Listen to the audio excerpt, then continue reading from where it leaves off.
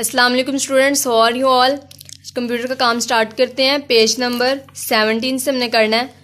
Memory is primarily of primarily of three types यानी कि इसकी तीन इकसाम है। Primary memory main memory secondary memory cache memory अब सबसे पहले पढ़ेंगे प्राइमरी मेमोरी या मेन मेमोरी इसको दो नाम दे सकते हैं हम।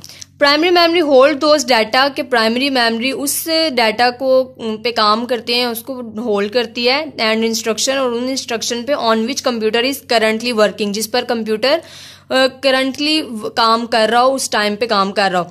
इट हैज़ लिमिटेड कैपेसिटी इसकी कैपेसिटी इसकी जो हद है, वो एक लिमिटेड होती है and data is lost when when power is off कि जब पावर बंद की जाती है तो डाटा लॉस्ट हो जाता है।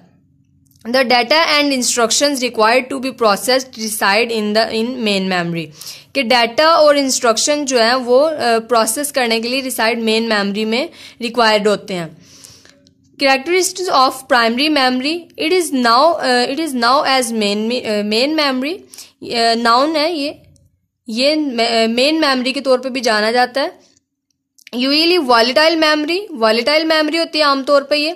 Data is lost in case power is switch off कि जब पावर ऑफ़ स्विच ऑफ़ किया जाता है इसको तो ये डाटा इसको लॉस्ट हो जाता है।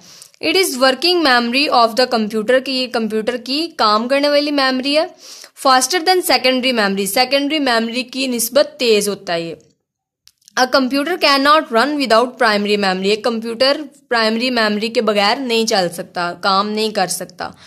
It is divided into two sub sub sub categories RAM and ROM कि इसको रैम और रोम दो कैटेगरीज में तकसीम किया गया है। रैम मीन के रैंडम एक्सेस मेमोरी और रोम मीन के read only memory so students आज रीडिंग यहाँ तक करेंगे। इनशाला हम नेक्स्ट लेक्चर में पढ़ेंगे और इसके साथ आपने करने हैं। लॉन्ग क्वेश्चन नंबर वन और two explain memory of the computer with examples और उसके साथ describe the characteristics of S RAM and D RAM best of luck अल्लाह हाफिज़